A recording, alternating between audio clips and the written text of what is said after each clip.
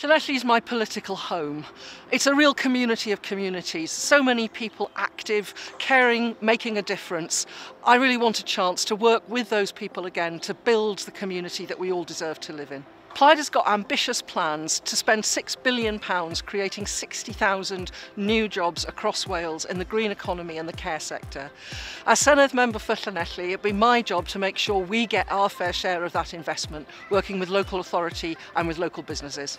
People should vote for me because I know the constituency inside out and I care about every single one of its communities. I'm experienced, I'm knowledgeable and I'm looking forward to being the part of a Plaid Cymru team in government to build the Wales we all want to live in.